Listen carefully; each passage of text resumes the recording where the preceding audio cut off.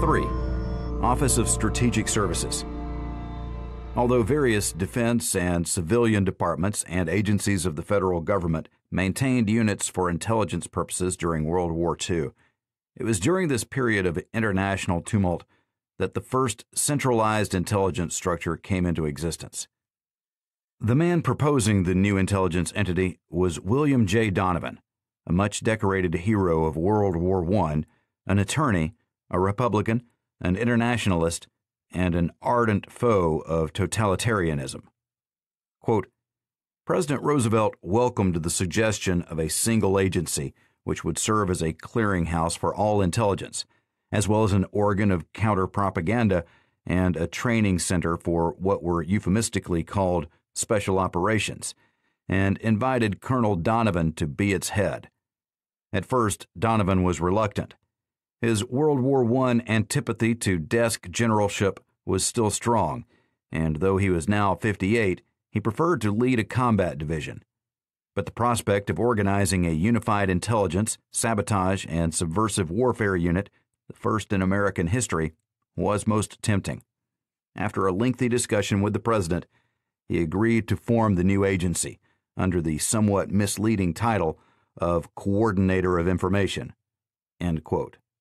Footnote Corey Ford, Donovan of OSS, Boston, Little Brown and Company, 1970, page 108. End footnote. Born in Buffalo, New York, on New Year's Day, 1883, William Joseph Donovan's paternal grandparents had emigrated to the United States from Ireland in about 1840. His father sold real estate at one time and later operated an insurance business.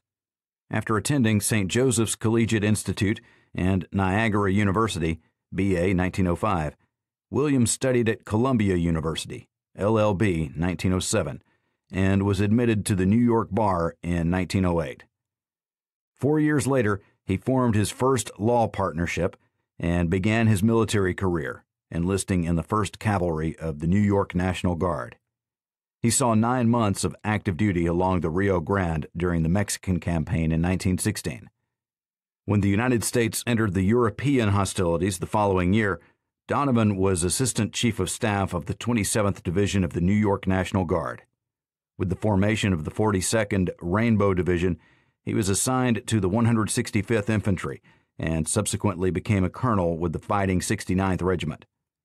Wounded three times during 21 months of active service overseas, Donovan became one of the most decorated soldiers of the Great War. His own government awarded him the Congressional Medal of Honor, the Distinguished Service Cross, and the Distinguished Service Medal. He was the only member of the armed forces to receive these three cherished decorations during World War I.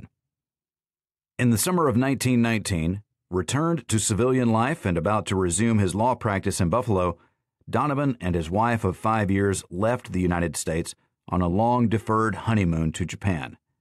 It was then that he began his intelligence activities.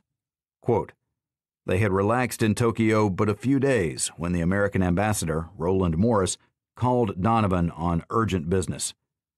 Morris was about to depart for Siberia to evaluate the reportedly unstable status of the White Russian government at Omsk, headed by Admiral Alexander Kolchak, and advise the State Department whether the Kolchak regime should be supported by the United States. He needed someone with Donovan's background and training to accompany him on his confidential mission. Ruth Donovan reconciled herself to what would become a pattern of similar missions over the next 40 years. End quote. A variety of other government positions soon beckoned Donovan. He became a U.S. Attorney for the Western District of New York in 1922. Shortly thereafter, he served as a delegate to a Canadian American Customs Conference held in Ottawa, which produced a treaty of cooperation in preventing international crimes. In 1924, Donovan was appointed Assistant Attorney General in charge of federal criminal matters. The following year, he became the assistant to Attorney General John G. Sargent, a position he held until 1929. Returning to New York, Donovan acted as counsel for the panel revising the state laws pertaining to the Public Service Commission. During the 1930s, he traveled to Ethiopia as an impartial observer of the invasion by Italy. Next, he was in Spain, scrutinizing the development of the civil war in that land. Through friends and contacts in Europe, he kept well informed on the progress of totalitarianism on the continent. With the outbreak of war in 1939, Donovan became a valuable operative for neutral America. In July 1940, he went to Great Britain to observe the Blitz for Secretary of the Navy Frank Knox. Upon his return, he made a vigorous effort to publicize England's ability to survive the German assault and to secure aid for the embattled British. In December, he was again on a reconnaissance mission, touring Gibraltar, Malta, Egypt, Greece, Bulgaria, Yugoslavia, Turkey, Cyprus, Palestine, Spain, Portugal, and again to Great Britain. With his observations on the military, political, and economic conditions in these nations, he also offered the suggestion for creating a central intelligence agency. The impetus for such an organization derived not only from felt need for such an entity at the federal level, but also from a close familiarity with the special operations structure of the British government.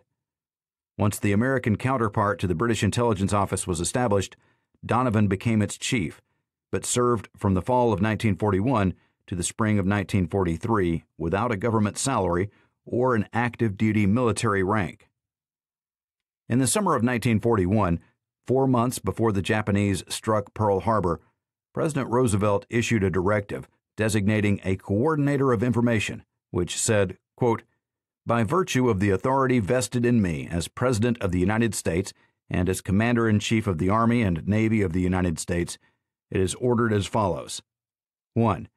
There is hereby established the position of Coordinator of Information, with authority to collect and analyze all information and data which may bear upon national security, to correlate such information and data, and to make such information and data available to the President and to such departments and officials of the government as the President may determine, and to carry out, when requested by the President, such supplementary activities as may facilitate the securing of information important for national security not now available to the government.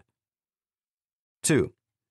The several departments and agencies of the government shall make available to the Coordinator of Information all and any such information and data relating to national security as the Coordinator, with the approval of the President, may from time to time request. 3. The Coordinator of Information may appoint such committees consisting of appropriate representatives of the various departments and agencies of the government as he may deem necessary to assist him in the performance of his functions. 4. Nothing in the duties and responsibilities of the Coordinator of Information shall in any way interfere with or impair the duties and responsibilities of the regular military and naval advisers of the President as Commander in Chief of the Army and Navy. 5. Within the limits of such funds as may be allocated to the Coordinator of Information by the President, the Coordinator may employ necessary personnel and make provision for the necessary supplies, facilities, and services. 6. William J. Donovan is hereby designated as Coordinator of Information. Dated July 11, 1941, this purposely vague directive provided Donovan with an intelligence function, which might include special actions requested by the President and a propaganda mission. After a year of operations, it was felt that the propaganda duties of the coordinator were inappropriate to his intelligence activities. Subsequently, on June 13, 1942, these propaganda responsibilities were transferred to the newly created Office of War Information established within the Office for Emergency Management.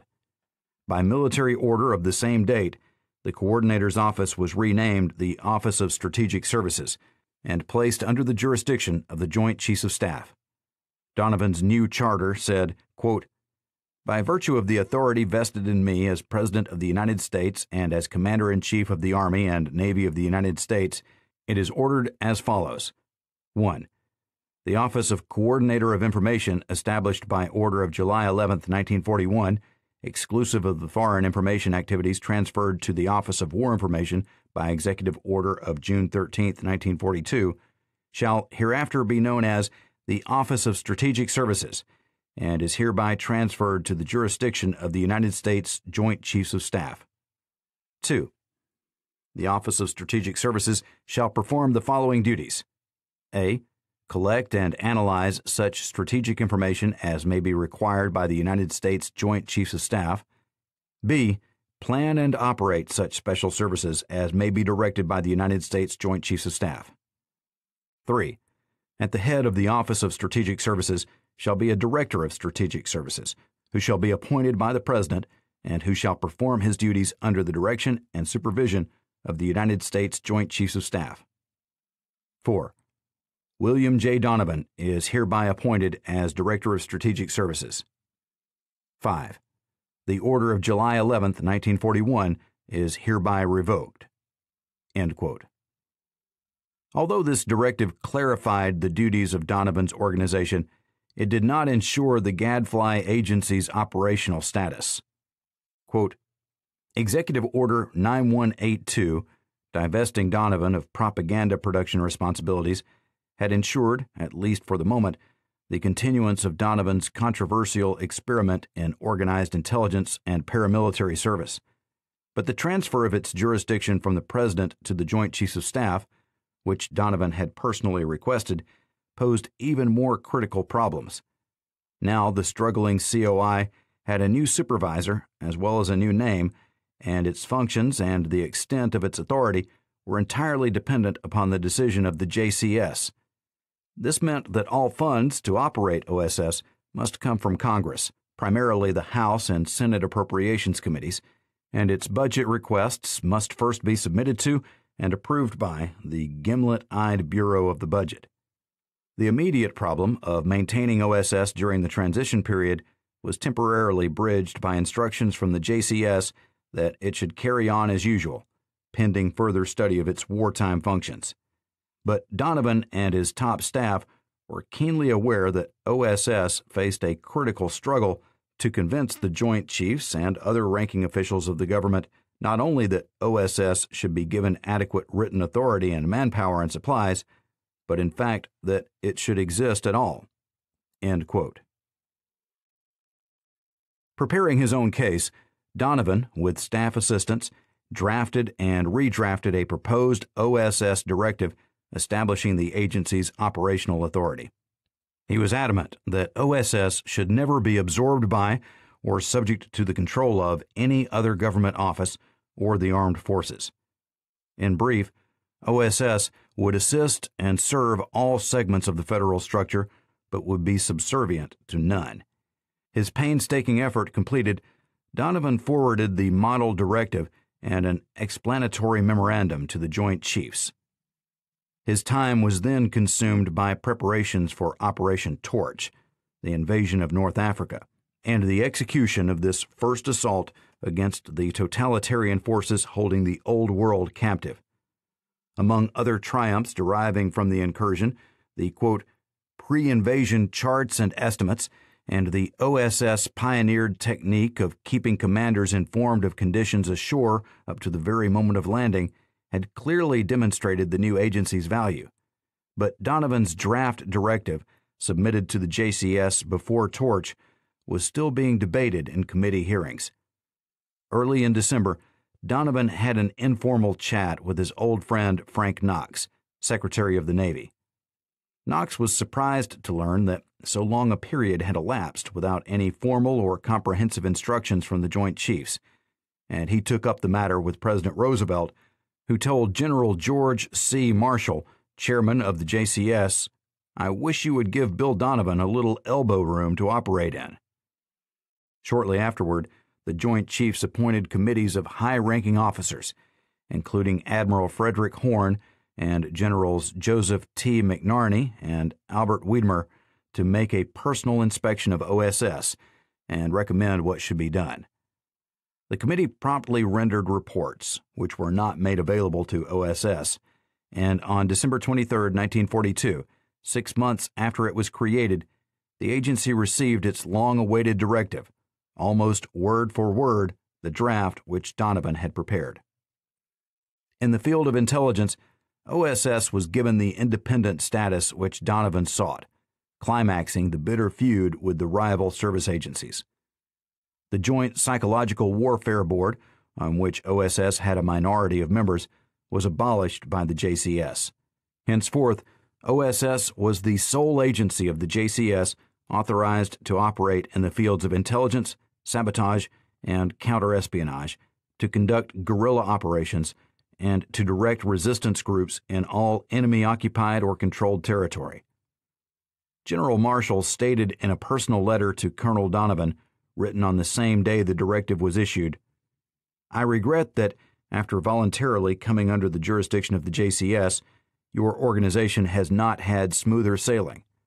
Nevertheless, it has rendered invaluable service, particularly with reference to the North African campaign. I am hopeful that the new Office of Strategic Services directive will eliminate most, if not all, of your difficulties. Donovan's original idea for a centralized intelligence agency had derived from his exposure to the British intelligence structure during his 1940 observation missions. Faced with the necessity of quickly organizing an effective intelligence operation for the United States, Donovan again relied upon the British. Quote, William Stephenson had developed an undercover organization in the United States called British Security Coordinator, BSC, which was staffed with experienced officers and they supplied the pioneer American agency at the outset with much of its secret intelligence. Experts in counterespionage and subversive propaganda and special operations were put at Donovan's disposal, and he was shown their methods of communicating with resistance forces behind the lines. In the early days, COI agents were trained at a school near Toronto, Canada, later a model for some of the training schools of OSS. Donovan said after the war Bill Stephenson and the British Intelligence Service gave us an enormous head start, which we could not otherwise have had. With information and expertise being supplied by the British, the next task involved structuring the new intelligence entity. Quote, Colonel Donovan brought a trained legal mind to the task of organizing his fast growing agency. OSS was to employ some 30,000 people by the war's end and set it up as he would prepare a trial case with research experts to analyze the evidence and skilled assistants to conduct the prosecution. At the top of the chart were Donovan as director and G. Edward Buxton as assistant director, and beside them were the planning group and the planning staff. Under Donovan were his three deputy directors with staff but not command status who were charged with the duty of coordinating the three main OSS functions intelligence, research and analysis, secret intelligence, counterespionage, and collateral offices, operations, sabotage, guerrilla warfare, psychological warfare, and related activities, and schools and training. A chief of services supervised the work of the offices of budget, procurement, finance, and related problems. In addition, there were some 18 essential offices which could not be assigned effectively to any subordinate command. Thus, the security office reported directly to Donovan, since security involved all procedures and all personnel regardless of rank. Other offices which served the entire organization were also placed under the director, including medical services, special funds, field photographic, communications, Navy and Army commands, which handled the administrative problems of OSS naval and military personnel, and a liaison office to maintain relations with other government agencies.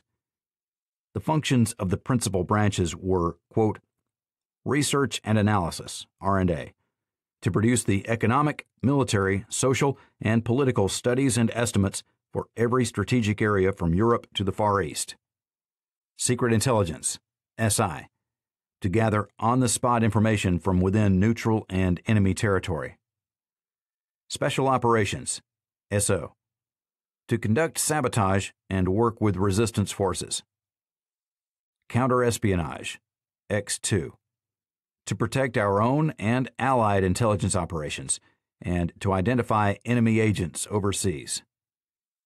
Morale Operations MO to create and disseminate black, covert propaganda. Operational Groups, OG, to train and supply and lead guerrilla forces in enemy territory. Maritime Unit, MU, to conduct maritime sabotage. Schools and Training, S&T, in overall charge of the assessment and training of personnel both in the United States and overseas. Not only did this departmentalization increase the agency's effectiveness, but it helped to maintain security. Each branch of OSS had its own secret file of information, which was available to members of other branches only on an official need to know basis. Donovan himself was not told the real names of some of his most successful agents, nor did he seek to learn them. Complete anonymity was the best safeguard against detection by the enemy. With the establishment of the Office of Coordinator of Information, a recruitment of new faces into the intelligence system was inaugurated. Most would continue their service with OSS until the end of the war. Quote, Heading Donovan's early staff was Colonel Edward Buxton, a close friend since World War I days, who left his business in Rhode Island to become the assistant director of the COI. James Murphy, formerly Donovan's secretary when he was Assistant Attorney General, was made his personal assistant. Dr. William L. Langer, distinguished Coolidge Professor of History at Harvard, who had seen action as a sergeant in the Argonne and at Saint Mihiel, headed the Key Research and Analysis Division, following the resignation of Dr. James Phinney Baxter, president of Williams College and a brilliant administrator, who served briefly as the first chief of R&A. Dr. Edward S. Mason, later director of Harvard's School of Public Administration and a prominent economist, Dean Calvin Hoover of Duke University, and the late Dr. Edward Mead of Princeton's Institute for Advanced Study, and Dr. Henry Field, curator of physical anthropology at Chicago's Field Museum, joined Donovan's expanding unit. David K. E. Bruce, later to be named U.S. Ambassador to the Court of St. James's, came to Washington to head COI's Special Activities Bruce, SAB, the agency's secret intelligence branch, and MP Goodfellow left his newspaper business to head the sabotage branch, Special Activities Goodfellow, or SAG.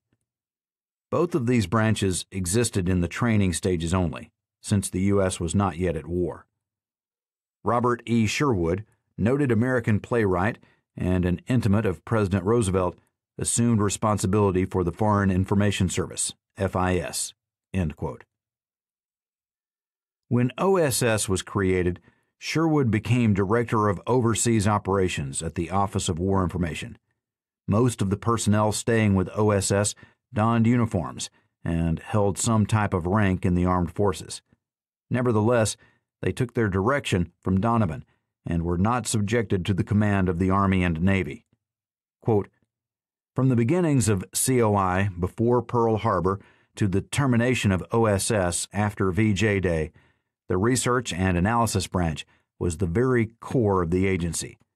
The cloak and dagger exploits of agents infiltrated behind the lines captured the public imagination. But the prosaic and colorless grubbing of Dr. Langer's scientists, largely overlooked by the press, provided far and away the greater contribution to America's wartime intelligence. From the files of foreign newspapers, from obscure technical journals, from reports of international business firms and labor organizations, they extracted pertinent figures and data. With infinite patience, they fitted the facts together into a mosaic of information, the raw material of strategy, Donovan called it, on which the President and his chiefs of staff could form their operational decisions. Footnote Popular accounts of OSS cloak and dagger activities, which were often heroic and valiant efforts, may be found in Stewart Alsop and Thomas Braden, Sub Rosa, the OSS and American Espionage, New York, Reynal and Hitchcock, 1946, and Corey Ford and Alastair MacBain, Cloak and Dagger, The Secret Story of OSS, New York, Random House, 1946. An excellent account of OSS field operations may be found in R. Harris Smith, OSS, The Secret History of America's First Central Intelligence Agency, Berkeley, University of California Press, 1972. End footnote. The R&A branch gained sufficient prestige that other federal agencies sought its assistance.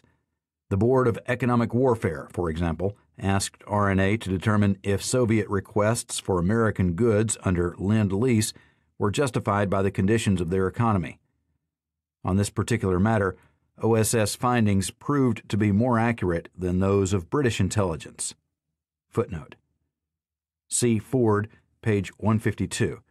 For an appreciation of the general approach of R&A to intelligence analysis, see Sherman Kent, Strategic Intelligence for American World Policy, Princeton, Princeton University Press, 1949. End footnote. Quote, At the start, Donovan established an R&A board of analysts consisting of half a dozen scholars, each of whom took charge of some major activity and played an important role in recruiting further staff members. In this way, he was able to secure the high classifications needed to get the very best people for a general directorate. Subsequently, this board of analysts provided the model for the CIA Board of National Estimates, set up in 1950 by Dr. Langer for General Bedell Smith. Due to its many-sided and brilliant staff, R&A was credited with producing the most accurate estimates made by the Allies in World War II. In addition to its research and analysis achievements, OSS was to prove inventive and innovative in another capacity. These were the products of the Research and Development Unit, R&D, headed by Stanley Lovell. Quote, Dr. Stanley Lovell, in charge of the agency's calculated mischief, was a sunny little nihilist, his spectacles twinkling and his chubby face creasing with merriment as he displayed his latest diabolical devices. This simple candle could be placed by a female agent in the bedroom of an amorous German officer, Lovell chuckled, and would burn perfectly until the flame touched the high explosive contained in the lower half of the candle. This innocent looking plastic cylinder, called the Firefly, dropped furtively into the tank of a car by a Maquis filling station attendant, would explode after the gasoline had swelled a rubber retaining ring. If the vehicle were a German tank, Lovell had to pause to wipe his spectacles and dab the tears of laughter from his eyes. The occupants would be cremated before they could open the escape hatch. This anerometer, a barometric fuse attached to a length of hose packed with explosive, could be slid into the rear of the fuselage of an enemy aircraft. At 5,000 feet altitude, he explained gleefully, the entire tail section would blow off.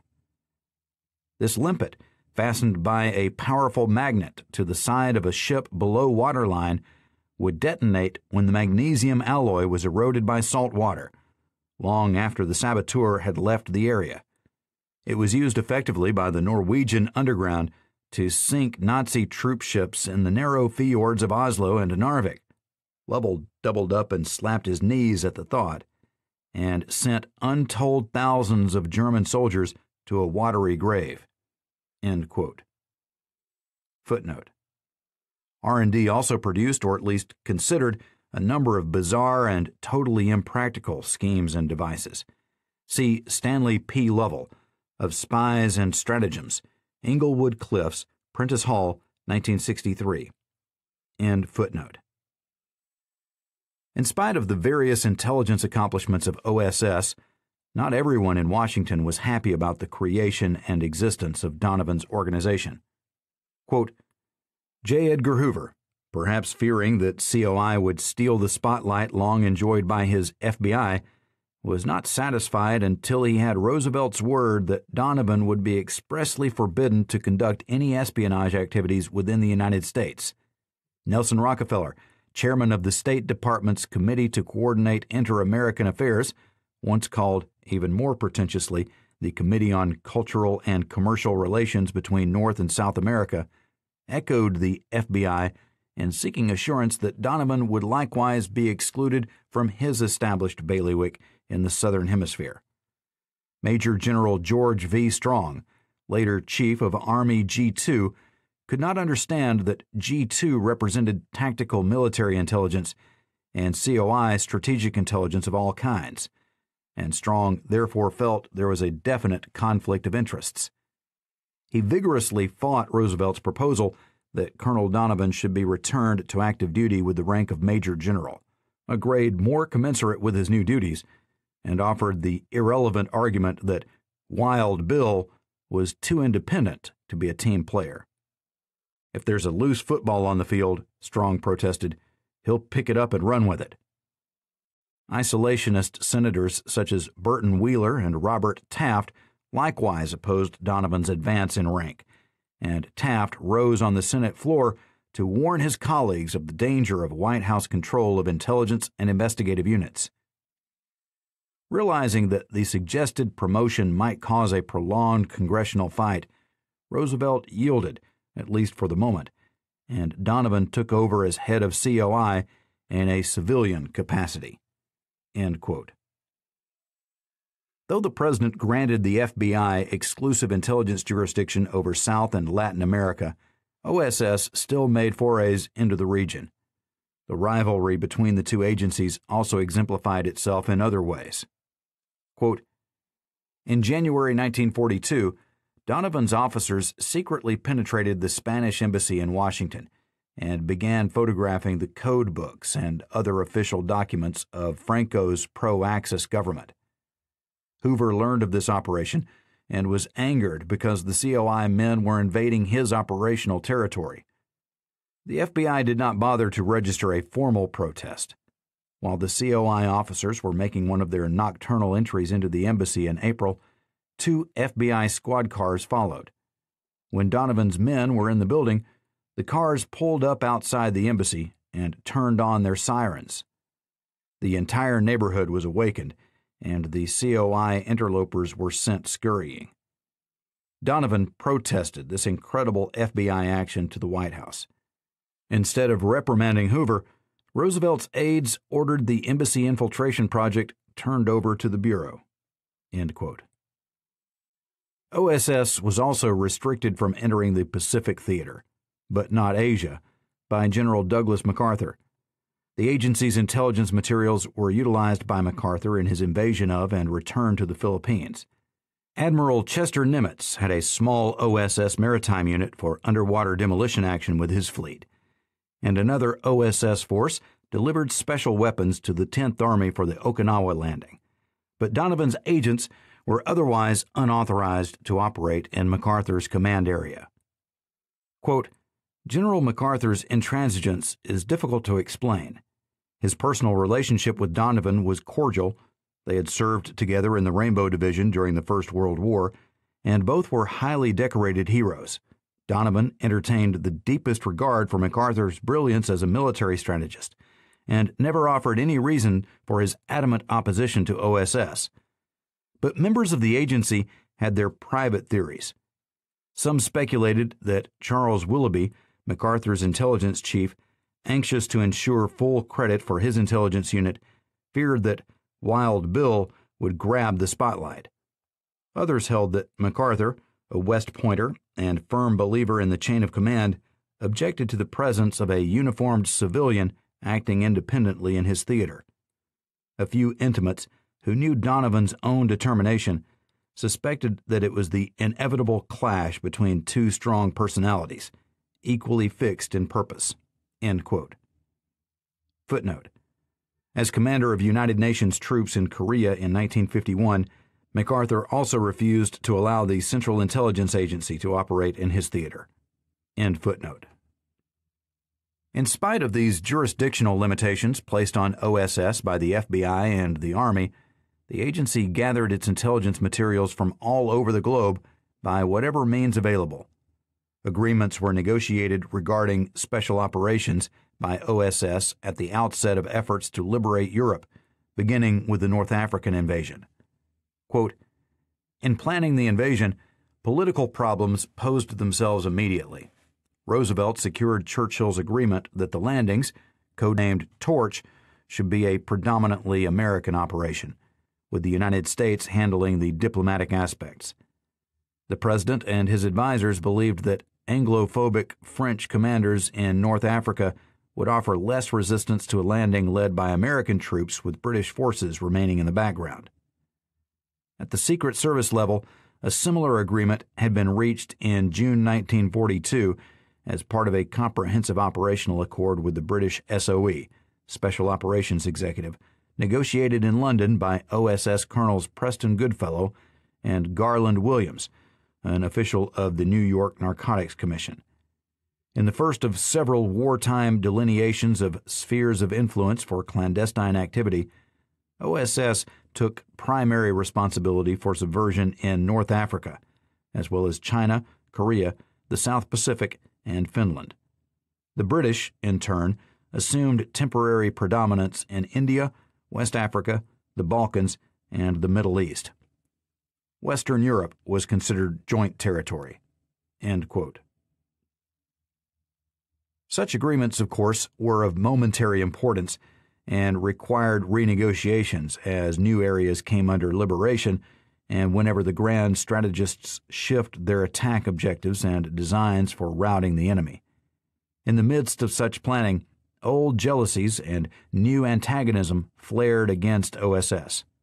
Quote, Back in the early days of COI, London had been most cooperative, sharing its training facilities and operational techniques with the struggling new agency. As OSS grew stronger, however, SIS, the British Secret Intelligence Service, showed an increasing reluctance to accept its American counterpart as a full and equal partner. Britain's position was enhanced by the theater command's lack of sympathy with OSS objectives. Throughout 1942 and 43, the practice of European theater of operations was to rely mainly on British intelligence and ignore OSS offers of assistance, thus inadvertently aiding SIS efforts to subordinate the younger American organization. The U.S. Theater of Command staff based their policy on Britain's greater experience in the field, but they overlooked the fact that OSS could provide new and different information to supplement or even refute the intelligence from other sources, and would serve long range U.S. strategic needs best if it remained independent. The issue came to a head in September of 1943 when ETO USA refused to give OSS authority to conduct espionage on the European continent unless it operated under British supervision. General Donovan insisted that freedom from the knowledge and influence of any outside power was essential to the success of his secret intelligence branch, and he strongly opposed the SIS efforts to force an amalgamation. In an appeal to the Joint Chiefs of Staff, he pointed out that Britain's proposal suggests coordination and agreement, but as employed here, the word coordination means control and agreement means dependence.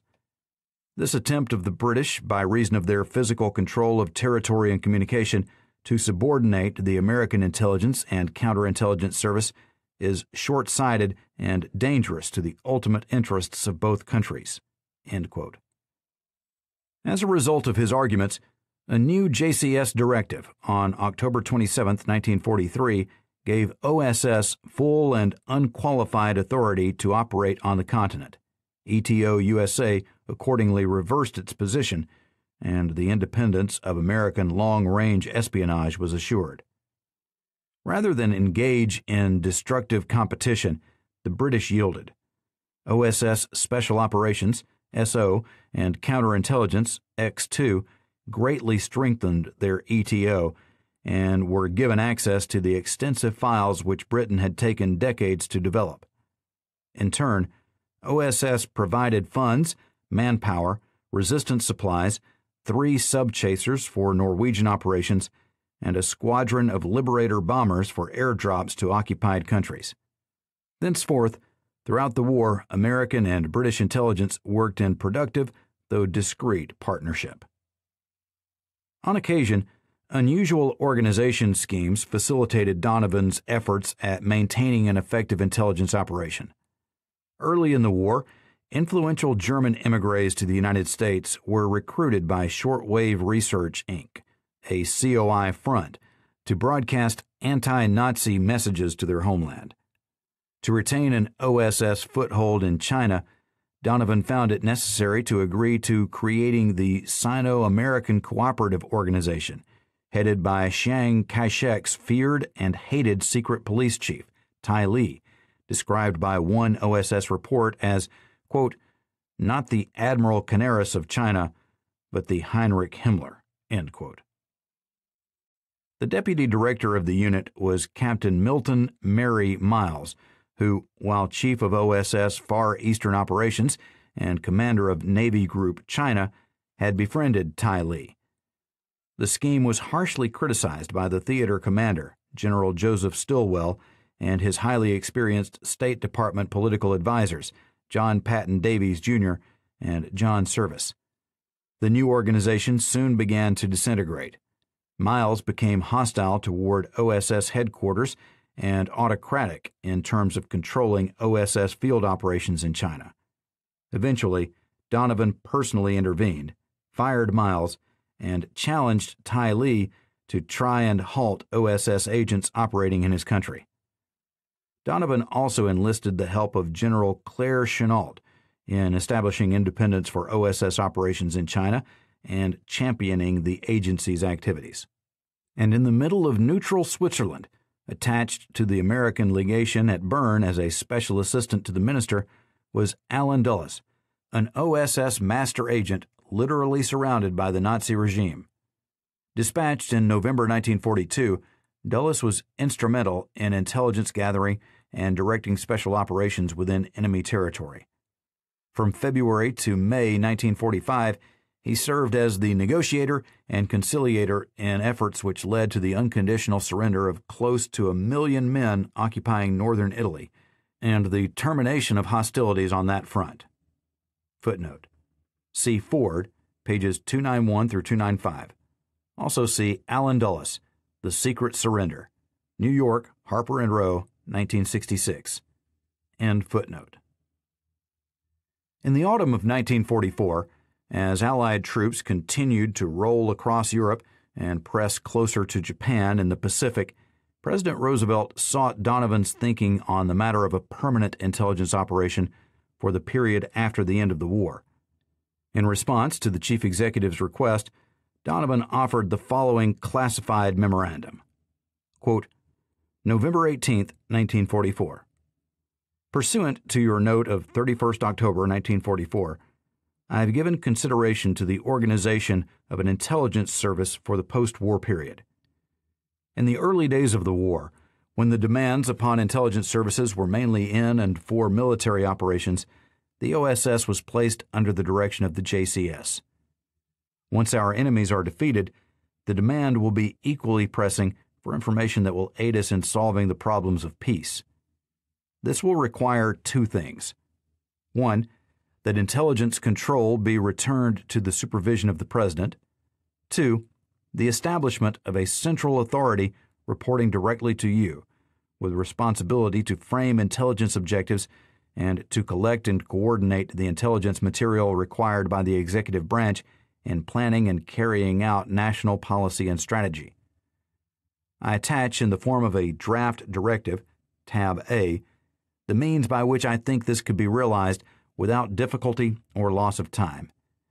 You will note that coordination and centralization are placed at the policy level, but operational intelligence, that pertaining primarily to department action, remains within the existing agencies concerned. The creation of a central authority thus would not conflict with or limit necessary intelligence functions within the Army, Navy, Department of State, and other agencies. In accordance with your wish, this is set up as a permanent long range plan. But you may want to consider whether this, or part of it, should be done now by executive or legislative action. There are common sense reasons why you may desire to lay the keel of the ship at once. The immediate revision and coordination of our present intelligence system would affect substantial economies and aid in the more efficient and speedy termination of the war. Information important to the national defense, being gathered now by certain departments and agencies, is not being used to full advantage in the war. Coordination at the strategy level would prevent waste and avoid the present confusion that leads to waste and unnecessary duplication. Though in the midst of war, we are also in a period of transition, which, before we are aware, will take us into the tumult of rehabilitation. An adequate and orderly intelligence system will contribute to informed decisions. We have now in the government the trained and specialized personnel needed for the task. This talent should not be dispersed. William J. Donovan, Director. Tab A Substantive authority necessary in establishment of a Central Intelligence Service. In order to coordinate and centralize the policies and actions of the government relating to intelligence, 1. There is established in the Executive Office of the President a Central Intelligence Service to be known as the blank, at the head of which shall be a director appointed by the President. The director shall discharge and perform his functions and duties under the direction and supervision of the President. Subject to the approval of the President, the Director may exercise his powers, authorities, and duties through such officials or agencies and such manner as he may determine. 2. There is established in the blank an advisory board consisting of the Secretary of State, the Secretary of War, the Secretary of the Navy, and such other members as the President may subsequently appoint. The board shall advise and assist the Director with respect to the formulation of basic policies and plans of the blank. 3. Subject to the direction and control of the President, and with any necessary advice and assistance from the other departments and agencies of the government, the blank shall perform the following functions and duties. A. Coordination of the functions of all intelligence agencies of the government and the establishment of such policies and objectives as will assure the integration of national intelligence efforts. B. Collection, either directly or through existing government departments and agencies, of pertinent information, including military, economic, political, and scientific, concerning the capabilities, intentions, and activities of foreign nations, with particular reference to the effect such matters may have upon the national security, policies, and interests of the United States. C final evaluation, synthesis, and dissemination within the government of the intelligence required to enable the government to determine policies with respect to national planning and security in peace and war, and the advancement of broad national policy. D. Procurement, training, and supervision of its intelligence personnel. E. Subversive operations abroad. F determination of policies for a coordination of facilities essential to the collection of information under subparagraph B hereof, and G, such other functions and duties relating to intelligence as the President from time to time may direct. 4. The blank shall have no police or law enforcement functions, either at home or abroad. 5. Subject to paragraph 3 hereof, existing intelligence agencies within the government shall collect, evaluate, synthesize, and disseminate departmental operating intelligence, herein defined as intelligence required by such agencies in the actual performance of their functions and duties. 6. The Director shall be authorized to call upon departments and agencies of the government to furnish appropriate specialists for such supervisory and functional positions within the blank as may be required. 7. All government departments and agencies shall make available to the Director such intelligence material as the Director, with the approval of the President, from time to time may request. 8. The blank shall operate under an independent budget. 9. In time of war or unlimited national emergency, all programs of the blank in areas of actual or projected military operations shall be coordinated with military plans and shall be subject to the approval of the Joint Chiefs of Staff. Parts of such programs which are to be executed in a theater of military operations shall be subject to the control of the theater commander. 10. Within the limits of such funds as may be available to the blank, the director may employ necessary personnel and make provision for necessary supplies, facilities, and services. The director shall be assigned, upon the approval of the President, such military and naval personnel as may be required in the performance of the functions and duties of the blank. The director may provide for the internal organization and management of the blank in such manner as he may determine. Three months later, on February 9, 1945, the isolationist press triumvirate, the Chicago Tribune, the New York Daily News, and the Washington Times Herald carried an article by Walter Trohan characterizing the proposed agency as an, quote, all powerful intelligence service to spy on the post war world, end quote, and one which, quote, would supersede all existing federal police and intelligence units, end quote. The column continued with full quotations from the memorandum and draft directive prepared by Donovan. The effect of the story was to raise a multiplicity of fears about such an entity being established and to also unleash a profusion of jealousies among the existing federal intelligence and investigative units. The source of the leak regarding Donovan's communique to the president was thought to be FBI Director Hoover. A second blow was delivered to OSS in April when the man who had urged its creation and had remained appreciative of its mission vis a vis the other intelligence functionaries died suddenly in Warm Springs, Georgia. In many ways, the war, due to end in four months, claimed one more fatality in the case of Franklin D. Roosevelt. But it also seized a president who understood and championed the unique intelligence activities of OSS. The new chief executive would be far less appreciative. Quote, it must be conceded, in fairness to Harry Truman, that he had never been taken into the full confidence of President Roosevelt.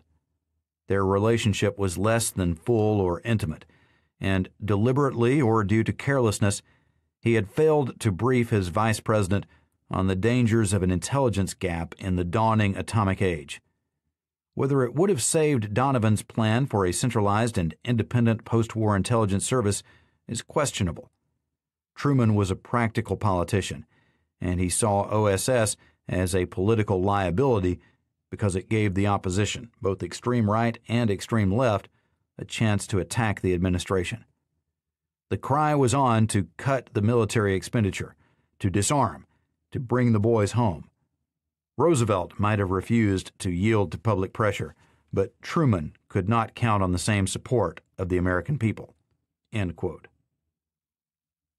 Without consulting Donovan or the Joint Chiefs of Staff, President Truman, on September 20th, directed that OSS terminate operations effective October 1, 1945. The Bureau of the Budget, prompted by Secretary of State James F. Byrnes, insisted on relocating the R&A section of OSS within the State Department to facilitate research needs there. Quote, at Secretary Byrnes's request, Dr. Langer came to state in 1946 for six months to set up the intelligence unit but the regional desks were not particularly interested at the time. Established as the Interim Research and Intelligence Branch, the unit became the Office of Intelligence Research in 1947 and the Bureau of Intelligence and Research a decade later. The Secret Intelligence, SI, and Counterespionage, X2 sections were transferred to the War Department, where they formed the Strategic Services Unit which, in one expert's view, quote, was nothing more than a caretaker body formed to preside over the liquidation of the OSS espionage network. End quote. Quote, only after the integrated mechanism of OSS had been scrapped and the majority of its trained personnel, who would have liked to continue, had drifted away in disgust, did the truth dawn on Truman that he was no longer able to obtain overseas information of the type available during World War II. As General Donovan had predicted, a critical intelligence gap had developed, leaving the United States far behind the other major powers. So urgent was the need for knowledge that in January 1946, at far greater expense and effort than would have been necessary if Donovan's advice had been followed, Truman set up an intermediate national intelligence authority made up of the Secretaries of State, War, and Navy, and the Chief of Staff to the President. Under this agency was a so called Central Intelligence Group, CIG, headed by Rear Admiral Sidney Souers, an acquaintance of Truman's from Missouri, whose intelligence background consisted of a tour as deputy director of ONI, Office of Naval Intelligence, and who is said to have been instrumental in persuading Truman to set up the NIA and the CIG. He was to be succeeded less than six months later by Lieutenant General Hoyt Vandenberg, a capable Air Force strategist, but equally lacking in intelligence experience, who in less than a year returned to the Air Force. While one authority credits OSS with a wartime budget of $135 million, another expert source has written, quote, from 1942 through 1945, excluding the salaries of members of the armed forces on active duty with the agency and a substantial part of overseas logistics support, the cost of OSS averaged less than $37 million a year. While much of the agency's money was provided in unvouchered funds, there was apparently close accounting of its expenditure. Quote, Donovan was the first man to whom Congress made a grant of $25 million without requiring an accounting, Dr. Langer notes. I recall the morning when the general announced this at a staff meeting, and at once turned a cold douche on our relation. This does not mean, he said, that a single dollar is going to be spent irresponsibly, because I know when the war is over, this agency will be in a very exposed position unless its record is spotless. For this reason, I have asked one of the leading New York accountants to join the OSS, and he will see to it that all expenditures are accounted for to me, even though I am under no such obligation to the Congress.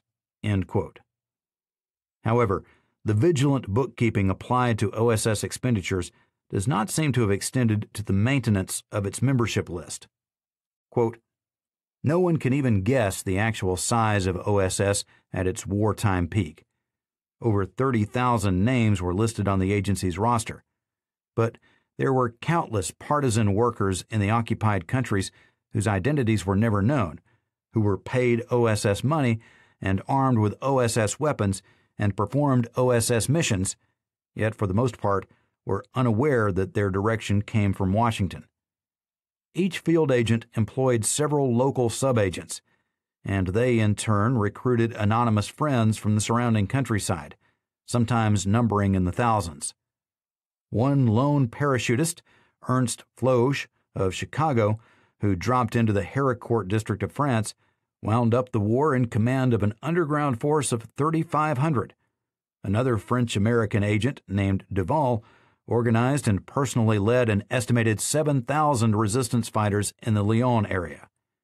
Altogether, the Maquis in France, the Kachin tribesmen in Burma, formed a worldwide shadow army which served under OSS in close support of the Allied military effort, and which faded back into obscurity when the fighting ceased. Once he left the directorship of OSS, Donovan also began fading back into obscurity. In the years immediately after the war, he devoted much of his time to the cause of European federalism as chairman of the American Committee on United Europe.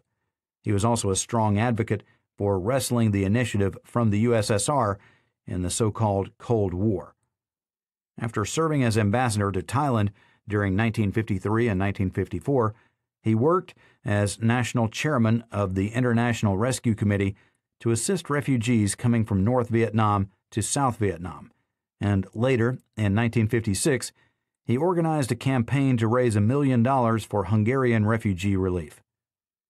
Never again was he called into service as an intelligence leader.